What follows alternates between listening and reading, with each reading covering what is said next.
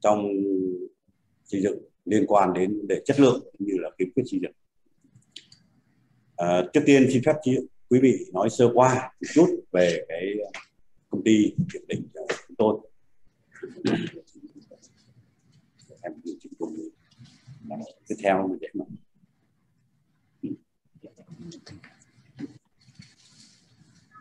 cái sau đó thì uh, tôi sẽ à, trình bày cái mục thứ hai tức là các bên tranh chấp hay nói khác là những ai là hay tham gia vào cái vấn đề tranh chấp này. Trong sự nghiệp thứ ba là họ tranh chấp về cái gì hay nói khác là những hư hỏng những cái khiếm khuyết trong chất lượng. Thứ tư là các cái vấn đề bất cập hiện nay trong quyết định mà có liên quan đến tranh chấp. Kết luận à, xin báo cáo là bài của tôi có năm phần như vậy. Về SCQC thì uh, xin uh, giới thiệu là SCQC là một doanh nghiệp nhà nước được Ủy ban nhân dân thành phố Hồ Chí Minh thành lập năm 1994 và giao cho Sở Xây dựng à, thành phố là đơn vị chủ quản. Và theo uh, xu hướng của uh, Việt Nam thì đến năm 2011 doanh nghiệp này đã chuyển thành công ty cổ phần nay gọi là công ty cổ phần kiểm định xây dựng Sài Gòn. Chúng tôi thực hiện các cái dịch vụ và quản lý dự án, giám sát, kiểm định, rồi thẩm tra thiết kế, thí nghiệm vân vân. Hiện nay thì à, công ty đang sở hữu ba cái công ty con, rồi à, một số xí nghiệp thành viên, hai trung tâm kiểm định, văn phòng thẩm tra à, thiết kế cũng như phòng thí nghiệm. Sơ qua thì xin báo cáo quý vị về CPC như vậy. Có nghĩa rằng đã thành lập được 27 năm và hoạt động có uy tín trên thị trường. Về công tác uh, kiểm định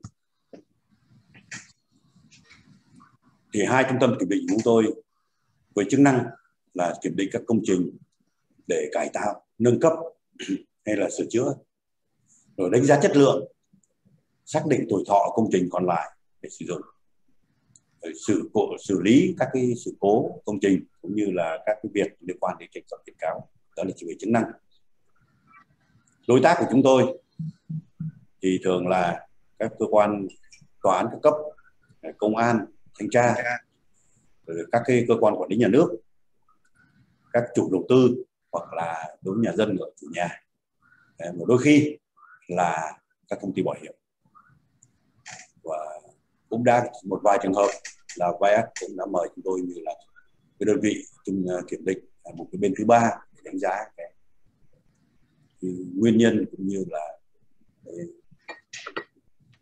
xử lý vấn đề liên quan đến tranh chấp cảnh cáo về mặt kỹ thuật. Để kiểm định một công trình thì cái quy trình của chúng tôi là từ cái yêu cầu thực tế của tòa án hay ủy ban các cấp hay công ty bảo hiểm chẳng hạn. Thì chúng tôi có tiến hành khảo sát sơ bộ, sau đó là thương thảo với lại chủ đầu tư, thương thảo với cái người yêu cầu về các vấn đề mình cần làm. Thì ở đây cũng xin nói rõ là không phải các công trình giống nhau thì sẽ kiểm định giống nhau.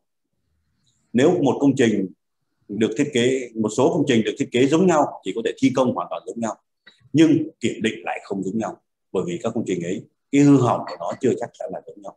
Cái thứ hai là trong kiểm định thì lại không có khái niệm là kiểm định toàn bộ công trình một cách đương nhiên, mà tùy thuộc vào mức độ hư hỏng để đánh giá. Thì có thể là chỉ kiểm định một bộ phận công trình thôi cũng có thể một bộ phận cấu kiện và vật liệu thôi chứ không phải hoàn toàn. Cái này tùy theo cái mức độ hư hỏng. Và do vậy thì ra là phải có cái khảo sát sơ bộ này. Ở trên trên cơ sở đó mình lập đề cương làm thế nào để cái chi phí hợp lý nhất làm thế nào để cái quy trình để đưa ra cái kết quả mà đạt được yêu cầu của bên phía bên bên, bên phía yêu cầu. Bước thứ hai sau khi mà thương thảo xong ký hợp đồng và bắt đầu thì chúng tôi sẽ khảo sát chi tiết bao gồm các công tác đo đạc, quan trắc, rồi thí nghiệm thử nghiệm kết cấu hoặc là có tính toán, vân vân. Thì từ đó sẽ lập hồ sơ. Thì ờ, đây là cái quy trình chung và tổng thể nhất. Thì còn đi vào từng công trình một, từng loại việc một sẽ có những chi tiết. Thì sơ bộ chúng tôi sẽ nói là về SCPC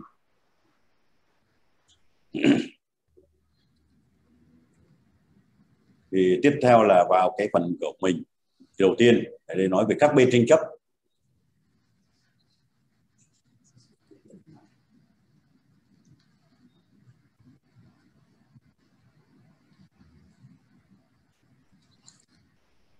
Các bên tranh chấp ta biết là một công trình xây dựng thì uh, thông thường là liên quan chặt chẽ của sáu bên.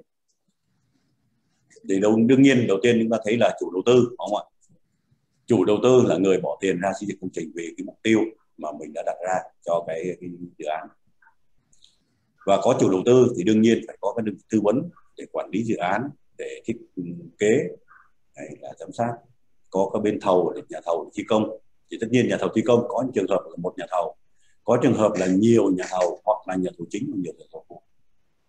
Rồi có các nhà cung cấp và vật liệu cung cấp thiết bị. Thì bốn cái người này là chính trong quá trình về xây dựng và thi công công trình cho đến khi công trình được bắt đầu đưa vào sử dụng.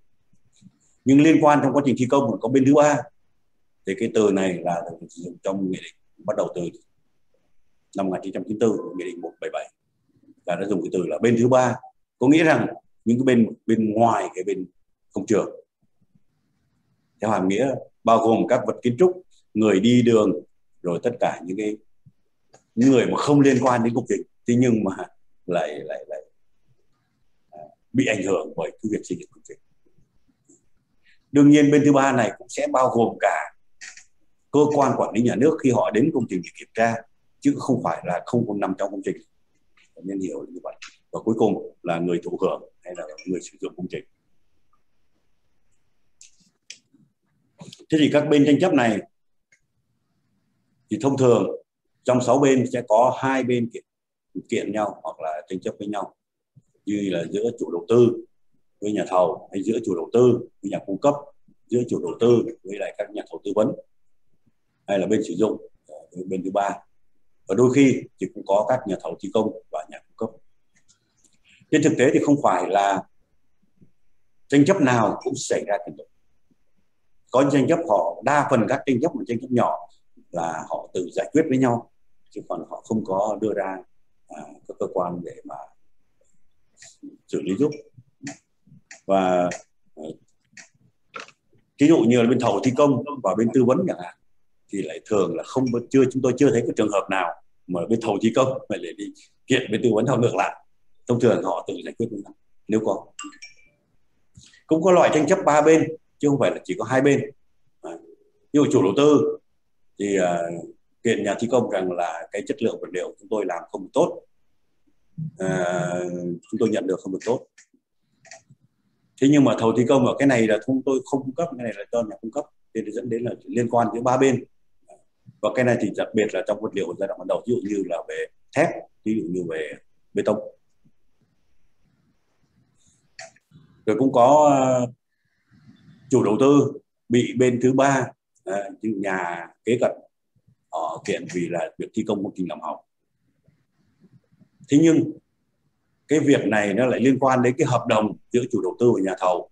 Và chủ đầu tư buộc nhà thầu phải ký hợp đồng rằng mọi hư hỏng là các nhà kế cận là nhà thầu thi công chịu cho nên chủ đầu tư theo quy định thì họ sẽ kiện chủ đầu tư. Xin lỗi, bên thứ ba theo quy định thì họ sẽ kiện chủ đầu tư, nhưng chủ đầu tư lại kiện nhà thầu. Thì vấn đề liên quan ba bên. Và một số trường hợp khác nữa thì có thêm tham gia bảo hiểm thì có thể là đến bốn năm bên cùng vào một cái vấn đề kiện nhau các cái vấn đề của các bên trung cấp, thường các bên mà tranh chấp thì thông thường giữa chủ đầu tư và thầu thi công thì có liên quan đến chất lượng, liên quan đến khối lượng à, vật liệu, thiết bị, hay là liên quan vật liệu à, tiến độ xây dựng, rồi đến thanh toán à, chi phí thanh toán.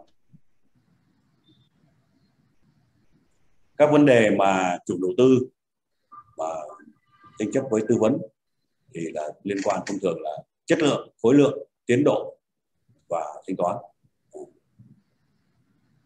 Mặc dù rằng là đôi khi à, vấn đề vật liệu nó cũng liên quan đến tư vấn vì tư vấn giám sát là có nhiệm vụ để nghiệm thu vật liệu chẳng hạn hay thiết bị trước khi đưa vào công trình. Đấy. nhưng mà tuy nhiên cái việc này thì ít khi mà chủ tư kiện trực tiếp đối với tư vấn. Chứ đối với tư vấn thì không có vấn đề về vật liệu hay là thiết bị rồi à, chủ đầu tư thì cũng à, với nhà cung cấp ở trong một số trường hợp. Thì à, chủ đầu tư lại là nhà người cung cấp vật liệu cho nhà thầu riêng và họ ký hợp đồng riêng với bên nhà cung cấp. À, dẫn đến là cũng có những cái tranh chấp về khối lượng về chất lượng về xuất xứ của vật liệu xuất xứ của thiết bị hoặc là vấn đề về thanh toán. Rồi chủ đầu tư với bên thứ ba thì kiện về các vấn đề về hư hỏng hay là nghiêng à, lún công trình. Rồi à, bên thứ ba cho rằng là chủ đầu tư à, xâm phạm cái ranh giới đất của mình rồi, hoặc là xảy ra các vấn đề về tai nạn gây ra các tai nạn trong thi công ảnh hưởng đến cái bên thứ ba. Đối với bên sử dụng thì cái này trong quá trình mà sử dụng công trình ấy, thì thông thường là cái người sử dụng ừ, thuê chủ đầu tư gây ra hư hỏng hay là tự ý mình sửa chữa công trình theo cái mong muốn khi thuê. Và cuối cùng thì là chủ đầu tư không chịu hai bên cạnh nhau. Thì cái này thì chúng tôi làm khá nhiều.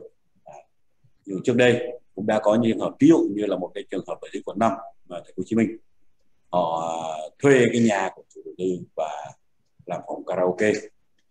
Thì họ sửa hết toàn bộ và sau khi mà họ trả lại nhà thì họ để nguyên như thế họ không có thay đổi, không có sửa trả lại cái hiện trạng ban đầu. Và chủ đầu tư thì không chịu, vì công tháo dỡ tất cả những cái thứ đó, nó vật liệu thì không bao nhiêu tiền, nhưng cái công tháo dỡ công sửa chữa, sơn nước lại tất cả các thứ khá là tốn kém. Thì cũng có kiện cáo nhau chuyện đó hoặc là bên sử dụng sử dụng công năng, công trình không đúng. Đây là thuê thì nhà ở, nhưng mình làm lại là văn phòng, có thể gây ra các cái thiệt hại về mặt kết cấu và khả năng chịu lực cũng như là các vấn đề khác. Rồi cũng hoặc là cái việc mà phục hồi lại hiện trạng ban đầu trước khi thuê à, không được làm tốt thì cũng có những cái kiện chuẩn như vậy. Giữa nhà thầu thi công và nhà thầu cung cấp thì thông thường là kiện về chất lượng hay về xuất xứ của vật liệu hoặc thiết bị. Họ không cũng chưa thấy cái trường hợp nào là về khối lượng cả. À, mua 100 cái máy là 100 cái máy. Mua bao nhiêu khối cát bao nhiêu khối bê tông là bao nhiêu thì khối lượng ấy thì có thể có những cái chưa được thống nhất nhưng mà có lẽ họ tự sự giải quyết. Thành ra là tôi thấy là chỉ có liên quan chủ yếu là chất lượng và xuất xứ.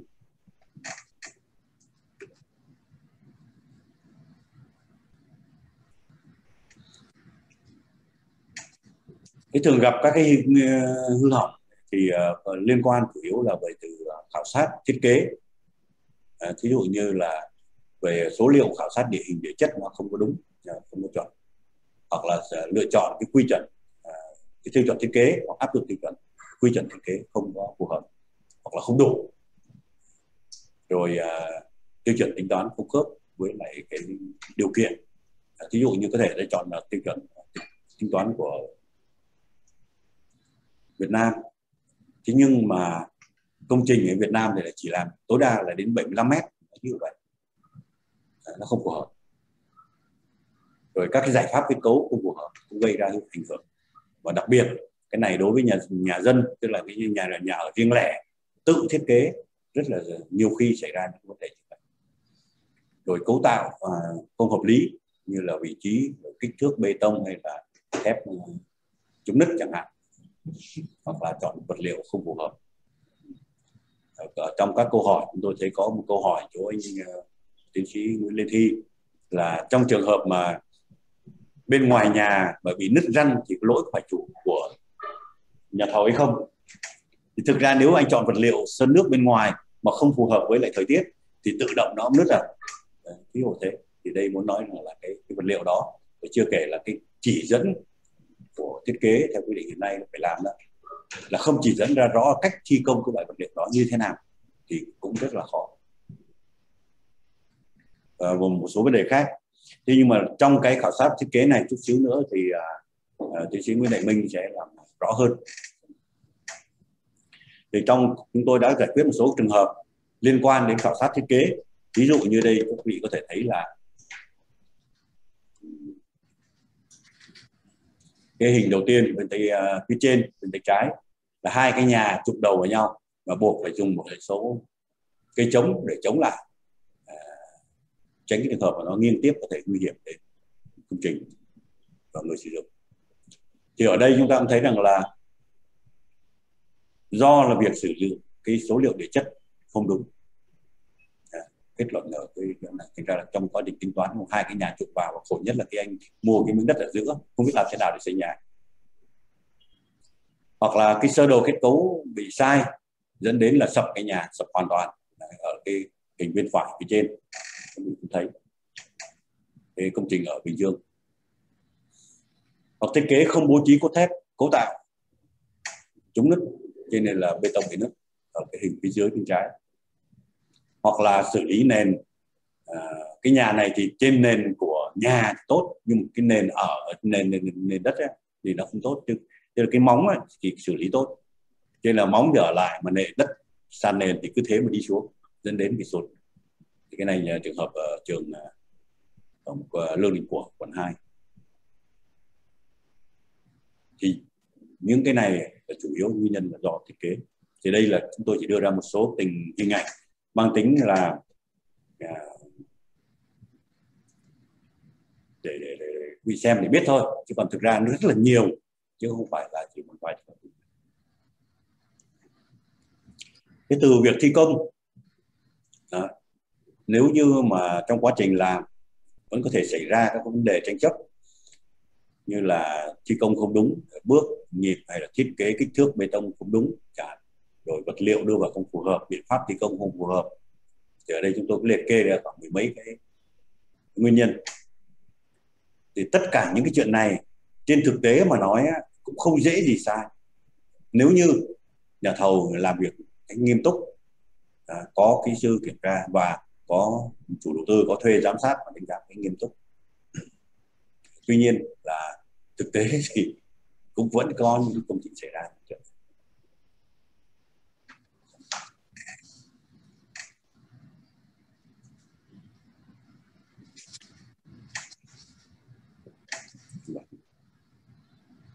Và những cái nói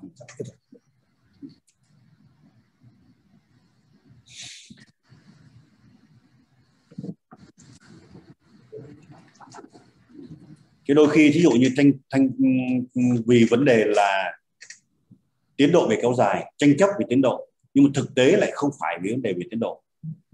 Vì chủ đầu tư không thanh toán kịp thời, cho nên nhà thầu sẽ kéo dài cái thời gian mà thi công.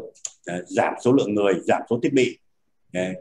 Bởi vì ông không thanh toán kịp thời, nhà thầu không đủ kinh phí để làm. Thế nhưng mà ngược lại lại không đạt tiến độ thì chủ tư bảo anh không đạt tiến độ tôi không thanh toán. Cũng là vấn đề mà gây ra cái tranh chấp. Rồi khi mà ảnh hưởng với bên thứ ba thì đôi khi nó là chuyện thực tế nhất là đặc biệt là ở khu vực đồng bằng nam bộ à, ở thành phố hồ chí minh. Cái việc ảnh hưởng bên thứ ba này xảy ra rất nhiều à, do cái nền đất yếu. Và khi trước đây ấy, theo quy định ấy, là khi mà có tranh chấp là công trình phải ngưng không được thi công. Và như vậy thì cũng rất là khổ chính là bên chủ đầu tư lại trở thành là người, bắt đầu là người gây hại và về sau trở thành người bị hại. Thì cái này, tranh chấp này thì thông thường kéo dài, và nếu là đưa ra tòa án, có khi mất 6 tháng, năm, hai năm mới giải quyết được.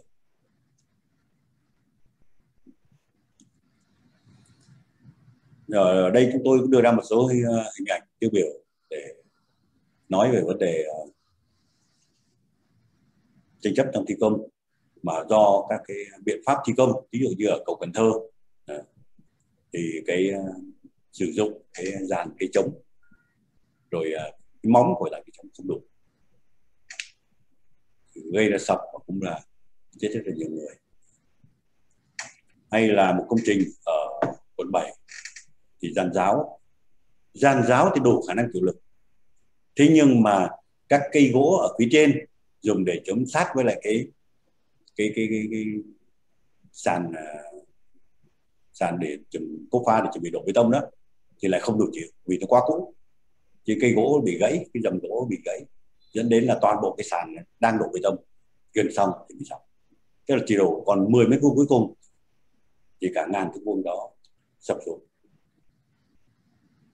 Ở cái, cái thời điểm mà tải trọng là lớn nhất. Nhưng ngay ở đây cũng có một cái nguyên nhân khác nữa ở cái chỗ mà quận 7 đó là hồi đó sử dụng cái ống bơm đặt lên trên mặt sàn và đặt trên trên trên cái cái, cái, đặt cái trống đó. Cho nên là khi mà bơm bê tông qua nó rung nữa thì cũng phải tăng thêm cái cái khả năng gây và cuối cùng bị sập chết hai người. Ở Bình Tân thì lại có một cái trường hợp cũng tương tự như vậy nhưng mà nó lại không cũng là sập tàn giáo nhưng mà lại không phải là do cái dầm nhà gác ở trên cái dưới sàn mà lại là do hoàn toàn cái cây trống thiếu cái dây dầm treo à, gây ra nó biến hình trong quá trình khi mà chịu tải. Thì cũng là sập giàn giáo như ba cái trường hợp ở cầu Cần Thơ ở quận 7 và Bình Tân lại hoàn toàn khác nhau. Thế rồi một trường hợp ở Bình Phước thì cái cột bê tông bị uh, bị vỡ do cường độ bê tông quá yếu bê tông bị trộn bằng tay uh, và không đủ cái hàm lượng xi măng. Cho nên là khi mà gác cột lên thì trong đêm sập hoàn toàn cái sự thì cùng trường hợp thì lại bố trí cốt thép cái, cái lớn cái nhỏ đáng lý là nó là đều. Nhưng họ bố trí không đều. Khi chúng tôi kiểm tra ờ, bằng siêu âm thì tranh cãi quá đục ra luôn. Chứng minh luôn rằng là và là, lục, là nó ví dụ như vậy. Rồi co ngót là cầu tinh chỉ.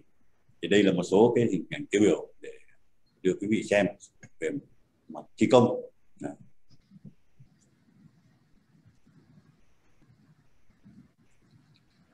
Trong trường hợp mà gây hại cho bên thứ ba thì nổi tiếng nhất ở thành phố Hồ Chí Minh có lẽ là cái vụ mà sập uh, viện khoa học uh, miền Nam ở trên đường Nguyễn Thị Minh Khai thì à, sập hoàn toàn nửa ngôi nhà phía trước. Ở phần phía sau thì cũng à, nứt nẻ rất là nhiều, không chịu được. Thế một vụ khác nữa là toàn bộ nỉa, vỉa hè. Ờ, cũng cũng bị bị bị sụt xuống do cái thi công ở phía bên trong, phía bên trong vỉa hè đó. Là kéo theo phía đất phía dưới làm bị sụt xuống phía dưới. Hay là vụ sập cần cầu đây là sập cần cầu có ở quận một. Thì cái vụ này cũng may là không có chết người. Chỉ nhưng mà gây ách tắc giao thông toàn bộ và ảnh hưởng khá nhiều đến cái nhà bên cạnh cũng như là cái cây cối ở bên đường. Thế còn uh, cái những cái trường hợp như mà sụt là gây uh, sụt nền tòa nhà của tòa nhà của sở ngoại vụ hay là nứt tường nứt cầu thang ở các cái nhà dân sự kế bên ấy, thì cái này cực kỳ phổ biến cực kỳ và chúng tôi đã làm một năm, cho thể khoảng độ 70 80 hoặc trăm cái công trình bị như thế trước đây. Và sau này thì người ta ít sử dụng cái giải pháp là đào móng để mà đóng cửa tràm. Thì à, và mà sử dụng biện pháp ép cọc cho nhà dân thì cái trường hợp này bắt đầu xảy ra ít hơn. Dạ, thì trước đây là do đào móng sâu để mà đóng cửa tràm thì xảy ra thì rất rất là nhiều.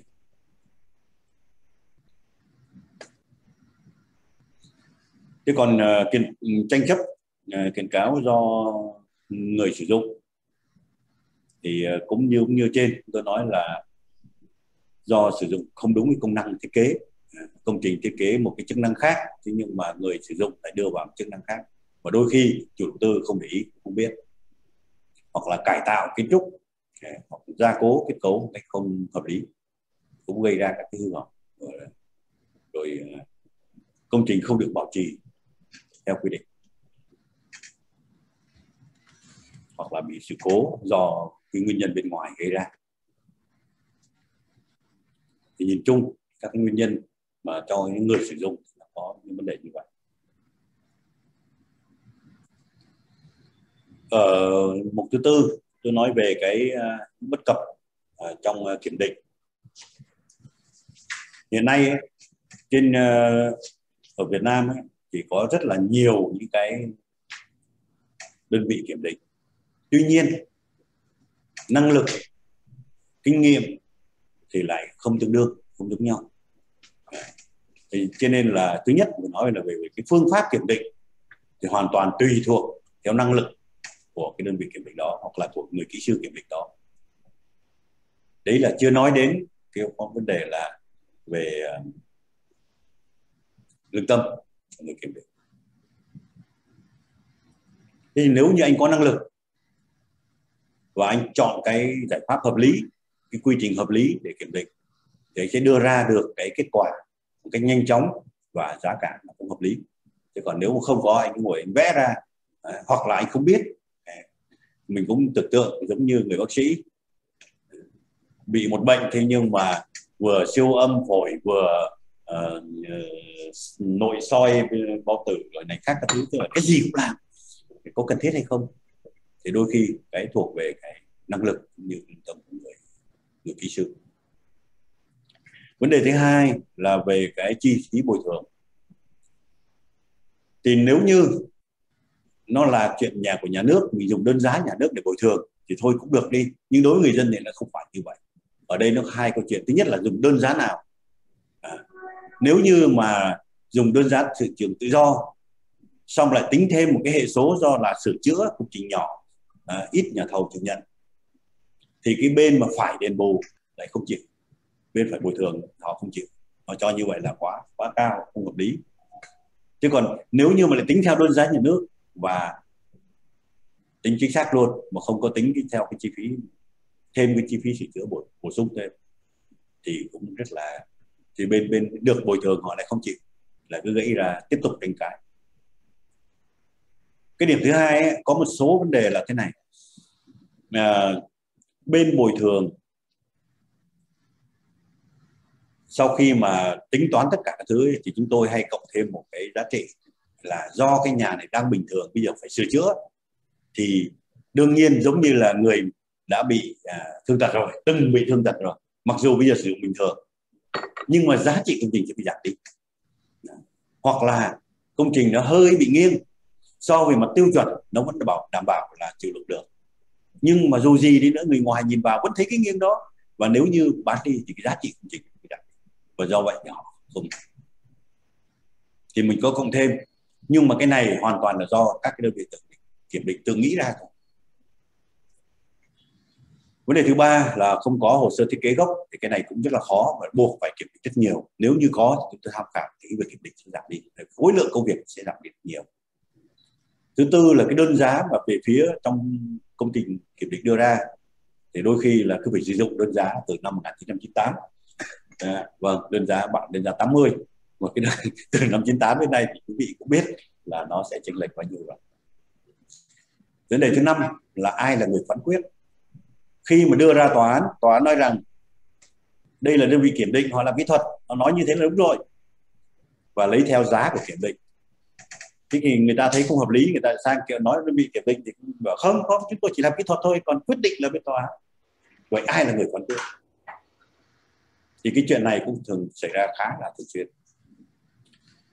trên cuối cùng chúng có một cái vấn đề là luật giám định uh, tư pháp uh, số 85 năm 2012 đã được đưa ra và cuối cùng thì uh, giải quyết được cái vấn đề ai là người phán quyết. Uh, giống như giám định tư pháp là chúng gia và sau đó thì uh, cũng có cái uh, bộ xây dựng cũng có cái thông tư 04 năm 2016 tuy nhiên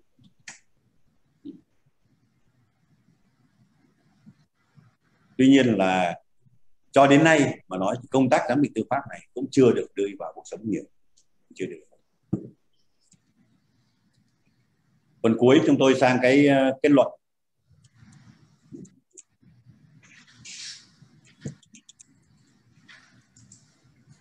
Thứ nhất à, tôi đề nghị là nên có một cái phổ biến. Tìm mọi cách để nhà nước làm sao đưa cái vấn đề mà giám định tư pháp này vào cuộc sống bằng cách phổ biến cái mô hình văn phòng tâm định tư pháp. Văn phòng này có thể là ờ, tư nhân cũng không phải không thành vấn đề. Thì tuy nhiên nó sẽ làm cơ quan vừa hiểu biết pháp luật vừa hiểu biết về kỹ thuật xây dựng để có thể đánh giá được. Và tôi nghĩ rằng là ờ, uh, VS cũng là một cái dạng như vậy. Hiện nay thì công ty kiểm định tôi có bốn người là giám định viên về tư pháp do bộ tư pháp cấp thẻ tuy nhiên là thì quá trình làm, việc sử dụng cái thực sự vai trò giám định viên này cũng chưa được chưa được tốt lắm. Vì nó cũng chưa có quy định cụ thể về cái vai trò. Rồi cần có những chương trình đào tạo cho công tác kiểm định và liên quan đến công tác kiểm định tranh chấp. Rồi nhà nước cũng cần có quy định cái phương pháp tính chi bồi thường để tránh cái tranh cãi. Bởi vì tính bồi thường xong rồi thì tòa thì bảo kiểm định tính kiểm định thì bảo tòa quyết. Nên ra là không có biết ai là người sẽ đưa ra. À, còn hoặc là các bên tự thỏa thuận được thì tốt. Rồi cuối cùng thì nhà nước cũng cần quy quy định lại đơn giá kiểm định cho nó hợp lý. Trên đây là cái cái phần mà trình bày của chúng tôi về à, các kiểm định tranh chấp. Đồng đó đã nêu lên được ai là người hay tranh chấp với nhau nguyên nhân các hư hỏng tranh chấp là như thế nào. Và cũng có một số cái vấn đề bất cập hiện nay trong quá trình và chuẩn bị ờ, tài liệu thì ờ, chúng tôi có nhận được số câu hỏi. Thì ở đây tôi xin ờ, trả lời trước một số câu hỏi của các quý vị. Câu hỏi thứ nhất là về cơ sở pháp lý để xác nhận xác định các cái câu hỏi thứ nhất là về các cái công nghệ à, kiểm định chất lượng và khuyết tật xây dựng. À, xin nói thật là tôi cũng không hiểu lắm là cái từ công nghệ kiểm định thì chúng tôi chưa bao giờ dùng cái từ này. Nhưng mà mình có thể là đưa ra có ba cái vấn đề liên quan đến gọi là công nghệ kiểm định. Thứ nhất là phương pháp kiểm định thứ hai là thiết bị kiểm định và thứ ba là tiêu chuẩn kiểm định. Như vậy ba cái vấn đề này nó sẽ tạo ra một cái cơ chế mình làm và tùy theo năng lực tùy theo khả năng về thiết bị à, cũng như việc lựa chọn tiêu chuẩn thì sẽ dẫn đến là À, cái quy trình kiểm định nó sẽ rõ ràng. Trong phương pháp kiểm định thì chúng thì đương nhiên là công trình nào cũng vậy sẽ phân ra các cái bộ phận khác nhau của công trình như bộ phận cọc bộ phận móng của kết cấu à, phần thân rồi à, mái bao che mái của phần mái và bao che thì tất cả những cái này với mỗi bộ bộ phận có cách kiểm khác nhau. Ví dụ như về kết cấu phần thân thì uh, trong phương pháp kiểm định chúng tôi chọn là có ba cái cái cách thứ nhất là cái cách mà chọn theo à, cường độ à, xác định theo cường độ. Cách thứ hai thì thông thường cách cường độ là mình khảo sát cụ thể rồi mình tính toán kết cấu lại. Sau qua cái tính toán kết cấu đó thì mình xác định công trình này có đủ hay không đủ. Khả năng chịu cái thứ hai là cái, là biện pháp về so về cái biến dạng hoặc là chuẩn bị. Và thứ ba là nứt. Thì thông thường đối với kết cấu bản thân thì thường chọn một trong ba cái nó tùy theo cái hướng để mình chọn. Thế còn thiết bị kiểm định thì cũng căn cứ theo cái quy trình mình định làm để thiết bị thì hiện nay thì khá nhiều thiết bị rất là hiện đại. Thì tuy nhiên là không phải đơn vị nào cũng được trang bị đầy đủ, và nhất là ở các tỉnh. Thì cái điều kiện này cũng khá là khó khăn. Câu hỏi thứ hai, làm rõ như thế nào là khuyết tật nhỏ? Thì ở đây thì do câu hỏi gọi là khuyết tật nhỏ, nhưng theo chúng tôi đánh giá thì không có khuyết tật nhỏ. Có nghĩa là khuyết tật hoặc là hư hỏng. Chứ còn đã là khuyết tật thì có nghĩa rằng là vẫn còn sử dụng được. Như là ừ, mọi cái mà không ảnh hưởng đến khả năng chịu lực hệ kết cấu, không ảnh hưởng đến khả năng sử dụng bình thường của công trình và mức chi phí để phục hồi những cái ờ, vấn đề này không quá lớn thì gọi nó là khuyết tật. Và trong đó gọi khuyết tật thì không gọi là nhỏ hay lớn nó gọi khuyết tật, có nghĩa là vẫn sử dụng công trình được và không có gì nguy hiểm cả. Có cái là nó không không tốt, không đạt được cái mong muốn. Thì phải phải sửa. Thì cách đánh giá về khuyết tật nhỏ ở Việt Nam thì cũng theo câu hỏi của quý vị tôi để cái chữ khuyết tật nhỏ thôi. Để đánh giá về khuyết tật thì tôi nghĩ là nó lệ thuộc. Thứ nhất là phải nói là nó không cái vấn đề trên đó, tức là không ảnh hưởng đến khả năng chịu lực, không ảnh hưởng đến khả năng sử dụng và chi phí của không lớn. À. Thứ hai, coi nó là, gọi là khuyết tật hay là gọi là khuyết tật nhỏ, thì cái biện pháp phục hồi nó không quá phức tạp. À, có khi có những cái chất nhỏ, nó ví dụ có một công trình ở Đà Lạt, toàn bộ cái cái phần mà họa tiết, hoa văn trang trí là không đạt yêu cầu ở đây là một công ty khách sạn ờ, năm sao họ bốn sao họ cũng được yêu cầu khá cao về các cái hoa văn. Nhưng tất cả các hoa văn này đều không đạt yêu cầu và buộc phải tháo rỡ và làm lại. Thế thì tính về chi phí so với công trình ấy thì nó không lớn. Và cái, cái cách làm nó không, không quá phức tạp nhưng mà phải dựng toàn bộ giàn giáo xung quanh đấy và làm trong thời gian khá lâu. Thế thì đâm ra hóa là trở thành cái biện pháp phục hồi lại là phức tạp. Ví dụ như vậy.